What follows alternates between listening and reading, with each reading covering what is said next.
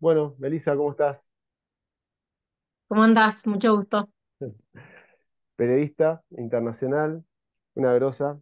Este, bueno, queríamos, queríamos- yo quería, quería saber más o menos, que nos cuentes más o menos cómo, qué opinás así a esto, qué balance tenés por ahí esto, todos estos días, eh, cómo viene la cuestión. Eh, ya van, no sé, 24 días por ahí. Este, ¿cómo, cómo ves la situación? Mira, yo creo que por el momento, o sea, si me si me hacías esa misma pregunta hace tres semanas, quizá te respondía otra cosa. En este momento, yo lo que veo es que estamos discutiendo quién condena qué cosa, cómo le llamamos a una y otra cosa, y lo que estamos viendo es que hace tres semanas Israel bombardea sin parar la franja de Gaza, cometiendo crímenes de guerra, asesinando más de 8.000 palestinos, más de 3.000 niños, y cuando decimos más de 3.000 niños es para entender que Israel no está atacando jamás, o sea, Israel está bombardeando Gaza ha asesinado a periodistas, trabajadores de la ONU, mujeres, niños.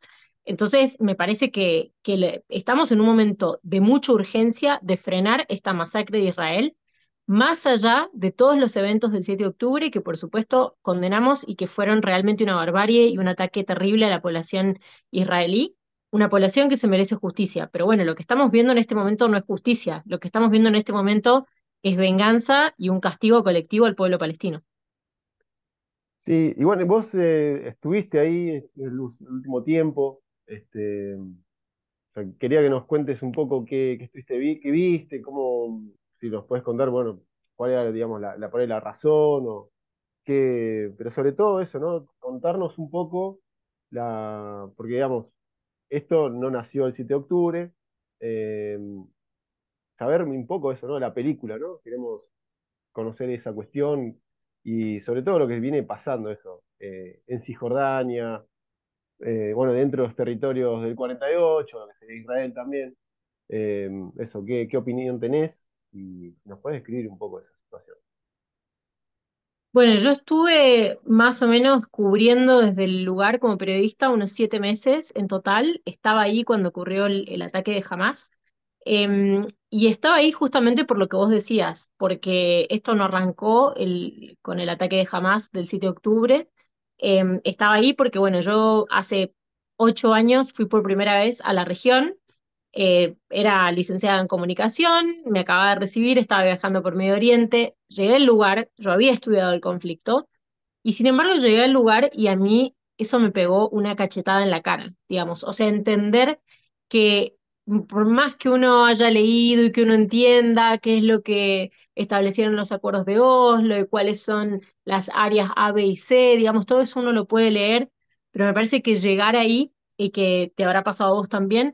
pero llegar ahí y ver, digamos, los chequeos militares, militares, ver cómo se trata a la población palestina, ver lo que significa vivir bajo ocupación, a mí realmente me, me cambió todos los esquemas y me hizo darme cuenta de que había toda una historia ahí que nadie estaba contando y que a mí como periodista eso me, me generaba esa, esa responsabilidad de decir, ¿no? Como, bueno, uno está viendo estas cosas, no se puede quedar callado ante lo que ve. Eh, y entonces, bueno, decidí muchos años después, pero ir a la región por, por más tiempo. Estuve, como te decía ahora, unos siete meses cubriendo desde ahí, eh, antes del ataque de Hamas. Y lo que podía ver, yo estaba en Cisjordania, no en la Franja de Gaza, recordando que los territorios palestinos son estos dos territorios que no están conectados territorialmente, sino que en el medio está Israel. Eh, yo estaba en Cisjordania, es decir, era un lugar mucho más seguro y las cosas que yo veía, digamos, más allá de que los palestinos son ciudadanos de segunda de por sí en esa región, también hay palestinos de primera y palestinos de segunda, ¿no? Porque los palestinos que viven en la franja de Gaza, una franja, o un territorio de 40 kilómetros por 10, antes del ataque de Hamas, esta franja ya vivía bajo bloqueo israelí, y después del ataque de Hamas, obviamente Israel endureció fuertemente el bloqueo, además eh, de bombardearlo. En Cisjordania la realidad era un poco diferente, eh, digamos, la ocupación se hace ver en muchos sentidos, sin el nivel de crisis humanitaria quizá de la franja de Gaza, pero en Cisjordania yo creo que uno sobre todo yendo como corresponsal o yendo incluso como una persona extranjera, creo que lo que eso nos permite es un poco tener los ojos frescos frente a la cantidad de cosas que se normalizan en esa región y que nosotros que venimos justamente de un país que es vanguardia en derechos humanos, es algo que te choca un montón, ¿no? O sea, a mí me ha pasado, por ejemplo, de, no sé, tener que subirme, hay un colectivo que pasa de Cisjordania a Jerusalén, ¿no? Hay palestinos que nacieron en Jerusalén y que no pueden ir a Jerusalén hoy. O sea, Israel no les permite llegar a Jerusalén. A los que Están sí se los permite, están a 20, ¿cómo? me- 20 kil- a pocos kilómetros, 10 kilómetros, así, ¿o no?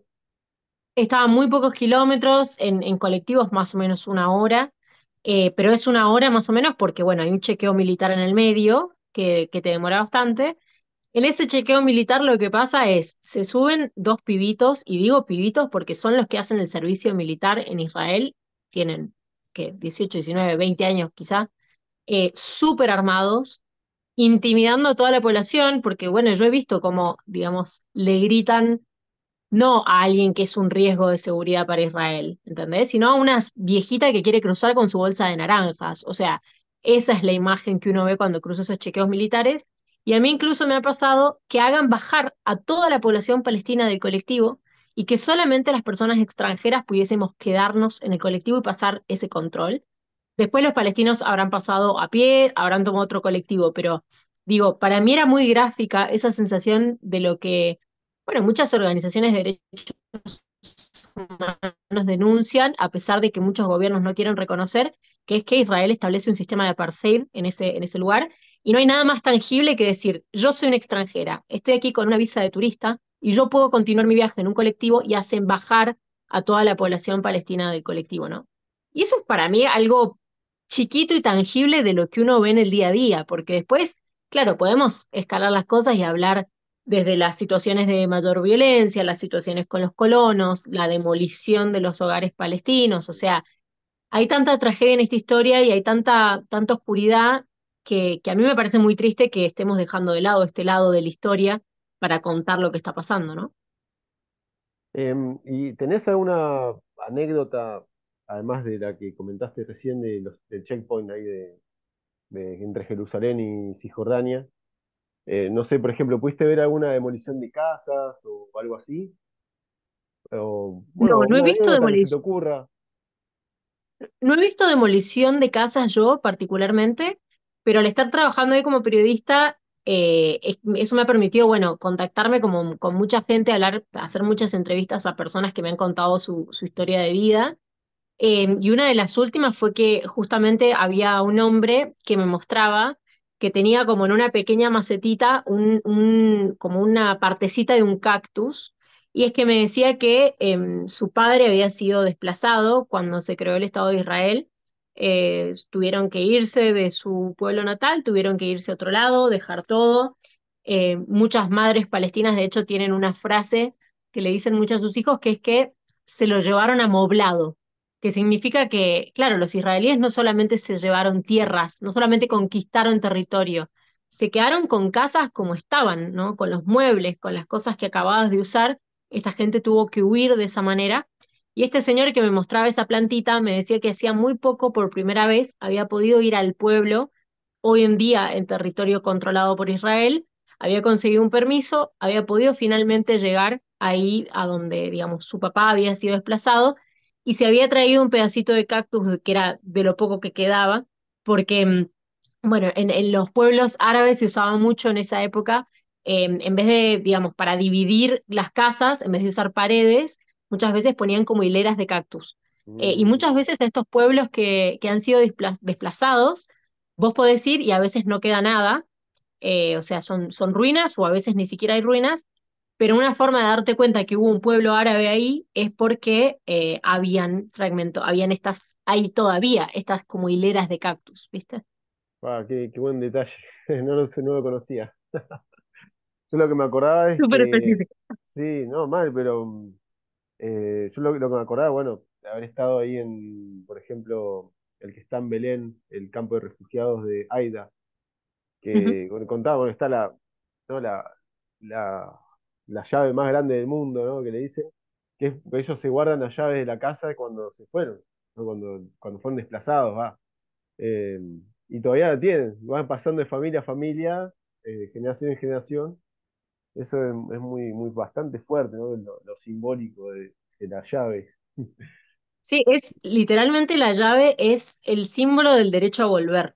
O sea, es el símbolo del retorno, porque son todas estas familias que fueron desplazadas desde la creación del Estado de Israel. Pues recordemos que cuando eso sucedió en 1948, más de 750.000 palestinos tuvieron que irse de sus hogares. Bueno, tener que irse suena casi como un eufemismo, o sea, los Sí, echaron, huyeron, eh, sus vidas corrían peligro, tuvieron que irse de estos pueblos eh, y muchas veces lo único que se pudieron llevar fue esa llave, y esa llave, como vos decís, se pasa de generación en generación, un poco con la esperanza de que algún día van a volver a sus casas.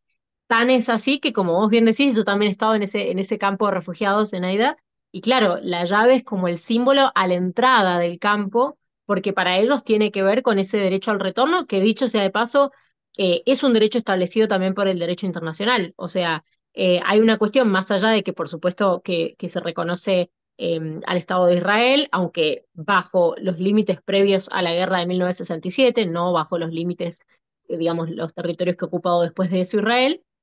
Pero el derecho internacional también establece que toda esa gente que fue expulsada de sus tierras en lo que los palestinos llaman la Nakba, eh, que fue en 1948 con la creación del Estado de Israel, bueno, el derecho internacional establece que esa gente tiene un derecho a, digamos, a volver y que si ese derecho no se cumple, al menos tienen el derecho de ser compensados, ¿no? Por eso que, que vivieron. Claramente no estamos ni cerca de ver que, eso se vaya a cumplir, ¿no? claro, parecía que está todo, o sea, día a día, bueno, con este tipo de, porque ahora se viene viendo, ¿no? Un poco que con los, o sea, nos muestran, bueno, los, se ven los bombardeos, bueno, los, la, la avanzada terrestre, etcétera, pero al mismo tiempo en Cisjordania, eh, si uno pasa que, claro, hay que saber dónde, en qué portal meterse para conocer ese tipo de noticias, ¿no? Eh, que ahora te voy a preguntar sobre cómo lo manejan los medios, pero en Cisjordania hay como una avanzada, ¿no? Estos días, eh, mucho más grande, incluso, o sea, creo que se profundizó mucho más desde que está, desde que volvió Netanyahu al, al gobierno con Ben Gvir, que es un tipo de extrema derecha religioso, ¿no? eh, mucho más agresivo, los más colonos agresivos, ¿no? Muy nacionalistas. Este, pero estos días, aparte, se avanzó mucho más de lo que ya estaba, ¿o no? Sí, No sé si viste em, hay, hay- que empezar por decir que, claro, esa es una de las fuertes realidades del conflicto hoy. Una de las últimas estrategias de ocupación del, gobierno israelí, bueno, ni tan últimas porque viene sucediendo hace muchísimo tiempo, pero em, es una de las más grandes estrategias de ocupación eh, de, de las últimas décadas, es la construcción de asentamientos israelíes. Estos asentamientos son una especie como de barrios o ciudades en territorio que es hoy Palestina, o sea, ni siquiera estamos hablando de los territorios de los cuales fueron desplazados los palestinos con todas las guerras que hubo, que algunas las empezaron los árabes también, digamos, pero bueno, no importa, el desplazamiento de gente que hubo en todo ese tiempo.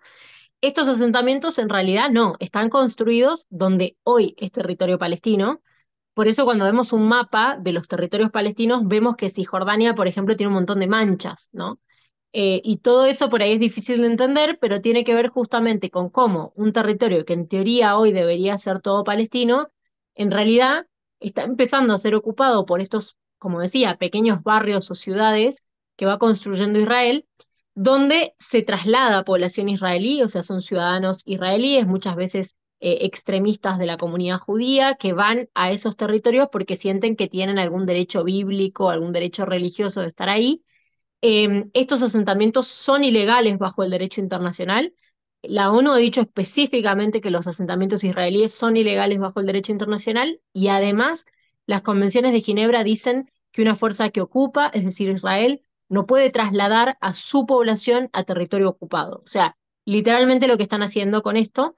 Y vos mencionabas muy bien específicamente al gobierno de Netanyahu y a Ben Gvir. Eh, estos son dos personajes muy importantes en esto. ¿Por qué? Porque, como decía, bueno, los asentamientos israelíes no son algo nuevo. Lo que eh, sí sucede es que se fueron expandiendo con el tiempo y últimamente esa expansión ha sido muy grande. Existen estos asentamientos no solamente con, digamos, con la aprobación del gobierno israelí, sino que además con la protección del gobierno israelí. Y cuando vos mencionabas a Netanyahu y Ben Gvir, me parece que, que está bueno lo que, lo que decís porque tiene que ver con que no solamente estamos hablando de colonos que están en esta situación ilegal, como decía antes, sino que hoy en día tenemos a colonos israelíes en el gobierno de coalición de extrema derecha en Israel. Eso obviamente que ha fomentado no solamente la expansión, sino mucho más la violencia, porque imagínense que cuando tenemos la creación de estos asentamientos, claramente eso trae muchísima tensión con los pueblos palestinos que están alrededor. Y además, estos colonos israelíes suelen estar muy armados. Entonces, lo que hemos visto siempre es bastante violencia alrededor de estos asentamientos israelíes, tanto de parte de colonos que van a amedrentar a la población, como de eh, algunos ataques que ha querido hacer algún palestino intentando eh, ingresar a estos asentamientos. Esa violencia, yo cuando estaba ahí, eh, porque estuve ahí hasta hace un par de días, em, esa violencia se venía incrementando un montón antes, de los, antes del ataque de Hamas del 7 de octubre. Veíamos situaciones violentas en relación a los colonos israelíes. Cada cuatro o cinco días había alguna noticia. Por supuesto que el mundo no estaba como mirando eso porque, bueno, tienen este, bueno, si le llamamos conflicto, tienen a este conflicto como una cosa dormida ahí de que nadie mira, digamos, hasta que pasa algo como lo que pasó el 7 de octubre, pero venían sucediendo un montón de situaciones y el problema, vos recién lo comentabas, es que desde que empezó, digamos, después del ataque de Hamas y la respuesta de Israel bombardeando Gaza, lo que estamos viendo es que nadie está mirando Cisjordania y Cisjordania en este momento no es un frente de guerra, o sea, no, no hay cohetes eh, cayendo en Cisjordania, pero lo que sí hay es un aumento muy marcado de la violencia de los colonos israelíes hacia la población palestina, y entre que, o sea, desde el ataque de Hamas hasta hoy, tres semanas después, hay más de 100 palestinos muertos en Cisjordania a manos de eh, violencia de colonos israelíes que han ido a matar a población palestina o eh, a manos de enfrentamientos con el ejército israelí. Vemos lo que ha pasado siempre en este conflicto. Hace poquito un chico de 15 años le estaba tirando piedras em, a, soldados israelíes y le dispararon y están los videos de cómo lo matan al chico y al padre que intenta meterse y ayudarlo y, auxiliarlo eh, severamente eh, grave en el hospital. Esas son imágenes no solo terribles, pero son imágenes que veíamos desde antes del ataque de Hamas y que explican por qué hay una tensión tan fuerte entre estas poblaciones y por qué la necesidad de que la salida de esto no sea más violencia y más militarizar más la cuestión, ¿no? Tremendo. Em, yo me acuerdo cuando, cuando fui, que em, fui, fui, con una organización ¿no? de israelíes que, protegían a los, pastores, ¿no? Que la violencia que vos decís de los, de los colonos. Porque bueno, viste que hay partes que son más, más ciudad, como Hebrón, Nablus, pero después están, bueno, las aldeas que están un poquito más apartadas, que son aldeas chiquitas, yo me, me, acuerdo que íbamos a Masaf que está al sur. Eh, y, bueno, había uno de, esos muchachos israelíes que era veterano de la guerra del Líbano, ¿no? Era israelí, veterano. Y él, bueno, rompió, digamos, con el sionismo, con, eh, él este, empezó, ¿no? Me decía que había tenido una gran crisis, ¿no? Porque empezó a ver todo lo que había hecho, lo que hizo él, lo que, hizo, lo que hace el ejército, lo que hace el Estado. Este, y bueno, que le costó mucho, pues psicológicamente dice que, te, el ejército te, es como un gran adoctrinador de la sociedad israelí. Em, eso, bueno, a mí me chocó mucho, porque el tipo hablaba, ¿no? Estaba como muy, se notaba, digamos, que tenía como recuerdos, ¿no? De cosas. Y nada, yo quería preguntarte, a ver si, si vos eh, podías contar un poco, ¿no? ¿Qué lugar tiene el ejército en, esas, en ese sentido, digamos, ¿no? De, como de formador ideológico del Estado de Israel. Si podés contar bueno, un sí, poco, eso. Eh, eh, ellos cumplen un rol tremendo porque en, en, Israel el servicio militar es obligatorio. Entonces, em, todos los jóvenes pasan por esto, con algunas excepciones. Em, yo no creo que eso signifique que, todos estén de acuerdo. Pero bueno, la realidad es que es una sociedad muy militarizada, hombres y mujeres además eh, hacen este servicio militar obligatorio, eh, y eso obviamente yo creo que marca mucho sus, sus vidas. Eh, vos recién lo mencionabas, mencionabas uno de los grandes intentos de, de paz, ¿no? Porque bueno, nos toca ahora hablar de la cuestión más extrema. Pero hay muchísima gente que trabaja por la paz de los dos lados, tanto del lado israelí como del lado palestino. Esa es la gente que la tiene más complicada cuando pasan cosas como, como el ataque de Hamas de este 7 de octubre y la posterior represalia de Israel, porque todos sus esfuerzos eh, quedan, no te diría en vano, pero quedan muy debilitados y sus propias sociedades los presionan justamente para que no puedan eh, seguir tratando de entablar esta paz. En ese sentido, hay gente, yo escucho, hay, por ejemplo, experiencias de escuelas que combinan a chicos de ambos lados, ¿no? A chicos y chicas de ambos lados. Escuelas internacionales, muchas veces algunas en Jerusalén, eh, otras en Tel Aviv. Em, y yo he escuchado, bueno, entrevistando también a, gente que se ha graduado de estas escuelas, decirte que, claro, que, que fue una experiencia única porque en la escuela entablaron una relación con alguien del otro lado. Eso obviamente genera todo un lugar para, para la empatía y entender eh, cómo se ve el conflicto desde el otro lado, ¿no? Y eso es, para mí es como el primer paso para la paz.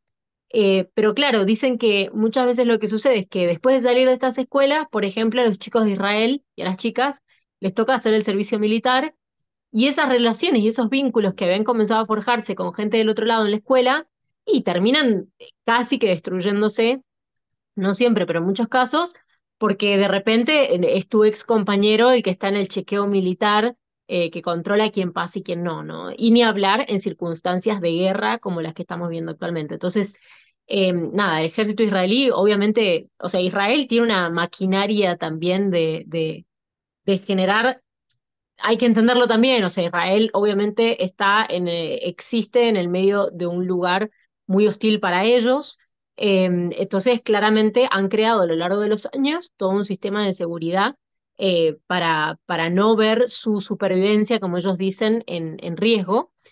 Eh, pero bueno, eso ha llevado a estos límites horrendos donde directamente se deshumaniza completamente al otro y donde terminamos escuchando del propio ejército israelí, por ejemplo, a ciertas autoridades hace un par de semanas, los escuchábamos decir frente a cámara que los palestinos son bestias humanas y que iban a ser tratados como tales, ¿no? Entonces, ese nivel de, de deshumanización es fuertemente parte del ejército y te digo más, es incluso parte de los medios de comunicación, porque a mí si hay algo que me horroriza en estos momentos, yo, mi maestría fue en seguridad internacional, o sea, yo conviví mucho tiempo con gente, eh, la hice en Europa además, o sea que no, no fue solamente con latinoamericanos, conviví con mucha gente de ese ámbito, del ámbito de la seguridad y del ámbito de los servicios de inteligencia.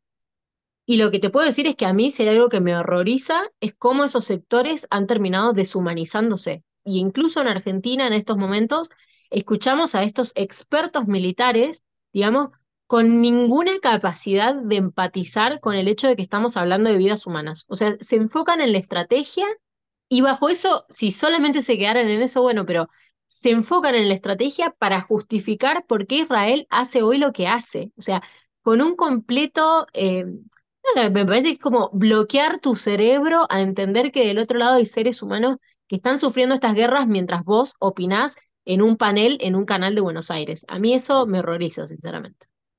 Bueno, justo nos queda muy poquito tiempo, no te, tampoco te quiero saber mucho más, pero eh, claro, yo te quería preguntar eso, cómo, bueno, solidarizarnos con lo que te sucedió, digamos, en, cámara, ¿no? En vivo, hoy me contabas que también te había pasado en América, este, eso, que, contarnos un poco eso, cómo lo ves que se está tratando en los medios y eh, nada, eso, con eso, ¿Qué, opinión te da y de qué manera por ahí se puede, no sé, de alguna, manera, de forma dar algún tipo de batalla, ¿no? Porque también hay una, una pelea en los medios de comunicación y en la propia sociedad, en este caso, bueno, Argentina, ¿no? Pero a nivel mundial, como decías, eh, pasa eso, ¿no? Sí, yo creo que lo que estamos viendo en los medios es muy terrible y te diría que igual en, en Argentina pasa de manera mucho más fuerte que en otros países, em, que hay un nivel de violencia mediática con respecto a este tema y para mí tristemente hay una cuestión de, de no querer mostrar las dos caras, digamos, de, de lo que estamos hablando, porque yo como periodista no creo que venga a decirle a la gente qué es lo que tiene que opinar, o sea, yo no creo que la gente coma vidrio. Yo creo que uno tiene que poner los hechos sobre la mesa y dejar que la gente tome, digamos, genere sus propias opiniones pero a partir de tener todos los hechos en la mesa. El problema es que los medios, sobre todo los medios más hegemónicos, eh, están generando una narrativa completamente unilateral, completamente de defensa del Estado israelí. Digo, ni siquiera hay matices, no hay maquillaje, no hay nada. O sea, hay es una cruzada a favor del Estado israelí para defender lo que está haciendo el Estado de Israel en este momento, sin la capacidad jamás de condenar una masacre de lo que está cometiendo el, el, Estado de Israel, sin hablar de crímenes de guerra del Estado de Israel, porque a mí lo que me pasó desde el principio en los medios de comunicación, cuando incluso cuando empecé a hacer notas desde Palestina, cuando fue el ataque, a mí ahí nomás me arrinconaban para decir, para preguntarme si condenaba el ataque de Hamas. Y yo no tenía ningún problema, porque para mí era parte, por supuesto, decir lo que acaba de pasar es horrible. Estamos horrorizados con las imágenes que estamos viendo del ataque de Hamas, y les puedo decir incluso que muchísimos palestinos también están horrorizados con esas imágenes, ¿no? Eh, y sin embargo, ahí nomás te quieren arrinconar con eso. Y yo, como te decía, no tengo ningún problema porque lo, lo condené desde el primer momento. Ahora, nadie los arrincona a ellos para decirles, bueno, ¿está cometiendo Israel crímenes de guerra? ¿Está, o sea, ¿se justifica la masacre de más de 3.000 niños por el ataque de Hamas? Eh, me parece que eso no lo estamos viendo, que es muy grave este, este discurso unilateral y que es sobre todo una falta de ética periodística total más allá de mi situación personal, en las entrevistas donde se me ha faltado un montón el respeto y donde no se me ha tratado como colega, muchas veces a los periodistas del mal llamado interior, yo soy de San Juan, eh, nos pasa eso con los periodistas de Buenos Aires, lamentablemente, pero bueno, ya en esta situación era completamente abrupta esa, esa falta de respeto. Es parte del juego, lamentablemente, y vos sabés que mucha gente me decía, bueno, ¿para qué vas a esos canales? Y a mí me pasa que como periodista, yo creo que también a veces hay que romper las trincheras porque si no nos quedamos hablando entre, entre los que opinamos lo mismo y está bueno llegar a nuevas audiencias, pero bueno, uno no puede llegar también a nuevas audiencias con estos niveles de falta de respeto en el medio donde ni siquiera estás debatiendo ideas. Son, eh, a, mí particularmente se me ha atacado personalmente por parte de periodistas que ni siquiera me conocen, eh, que no tienen idea, digamos, me han tratado de homofóbica cuando yo soy activista de toda la vida en San Juan por los derechos del matrimonio igualitario, soy feminista de toda la vida, entonces que alguien que no me conoce, viste, me diga cámara, me ataque a mí personalmente, ni siquiera mis ideas, me parece que bueno, habla muchísimo más de ellos que, que de mí, pero creo que como periodistas en general necesitamos exigir que hayan condiciones básicas de respeto para cualquier debate y sobre todo que a la gente se le presenten todos los hechos, que la gente después elija qué opinar, si condena, si no condena, pero que sepa qué es lo que está pasando y que sepa que esto no arrancó el 7 de octubre. Muy bueno. Che, Melissa, ¿tenés, eh, ¿querés decir algo más? Em, ¿Cómo te sentís? No, bueno, gracias, eh, gracias por el espacio. Eh, que sigan buscando informarse por fuentes que les sean creíbles. A veces esas fuentes no son necesariamente empresas periodísticas, a veces son periodistas específicamente. Los periodistas tenemos mucha más libertad en nuestras redes sociales personales a veces que en los medios en los que trabajamos. Eh, así que bueno, nada, si me quieren seguir, estoy como Melissa Trad, T-R-A-D, ahí en Instagram, Twitter, Facebook, lo que sea. Em, pero que sigan buscando, nada, entender que, que siempre las cosas son más complejas, que desde el momento en que te plantean que esto es un Boca River, hay algo raro ahí, digamos, no, no, no puede ser, no hay un blanco y negro, cuando hablamos de situaciones tan complejas que involucran a pueblos hace décadas, ¿no? Sí, bueno, muchas gracias. Eh, estuvo muy bueno, la verdad. Eh, así que te mando un gran abrazo. No, gracias a vos y bueno, ahí quedamos, quedamos en comunicación. Dale.